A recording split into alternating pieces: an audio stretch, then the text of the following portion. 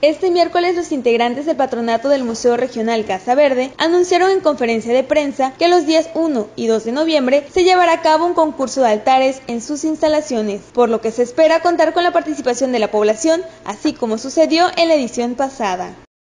Hay interés de otras personas que han eh, querido participar. El año pasado tuvimos 10 altares y este año mm, por ahí va la cosa, pero ellos tienen que presentar su, su trabajo que van a, a, traer aquí al museo eh, para estas fechas. Federico Valdés Toledo, integrante del patronato del museo, indicó que en esta ocasión el altar de muertos estará dedicado al profesor Samuel Mondragón Noriega, quien creara la partitura de la música del bailable Flor de Piña.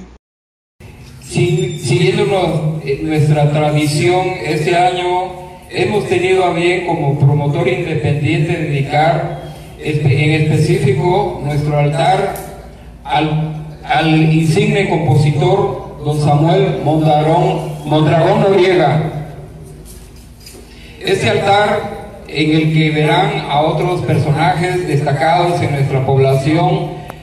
a, a quien rendimos tributo y admiración y respeto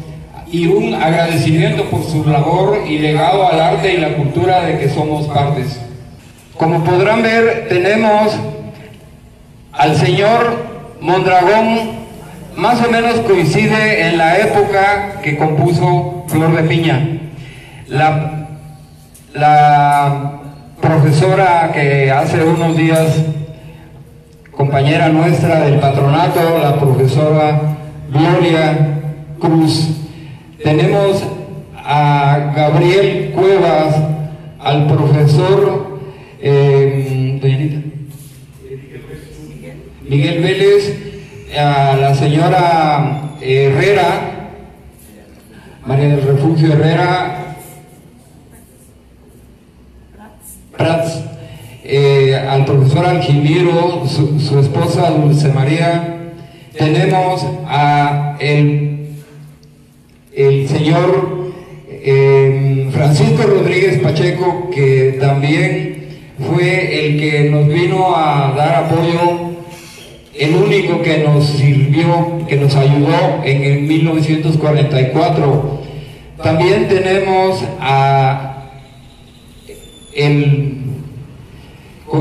al ingeniero Víctor Bravo Aguja, a don Juan Silva, y a don Damaso, periodista también, que siempre estuvo hasta sus últimos días con nosotros.